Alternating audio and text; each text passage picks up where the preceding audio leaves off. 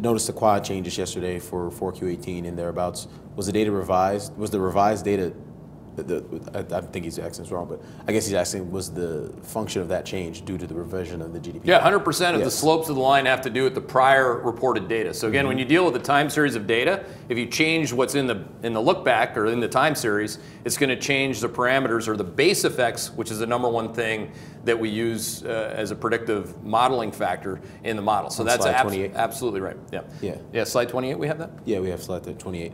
Uh, also, another thing to think about, uh, you guys can flash uh, slide 28 there just so that people can see the, the shape of the base effects uh, change. I mean, so if you didn't know, by the way, actually go to, you know, it's a great slide um, uh, in addition to, let's do slide, um, Which one? slide 13. Slide 13. Yeah. Here's another way, to, because I know some, some of you are pulling your hair out, and, and, and some of our best subscribers really making a big, big deal about it. Like, wow, it could be quad two and Q4. Okay, so just look at the, the sea of nothingness here, all right? So this is, this is the point.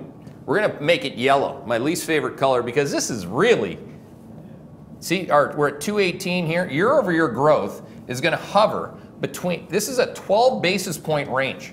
Mm -hmm. 12, okay? If you didn't know 12 basis points in GDP year over year terms is low, it's very, very, very, very low. Trump would have no other way to describe that. Now, the real call here, of course, was to risk manage this part when I didn't care if it was Trump or a raccoon who was president. This is called growth accelerating.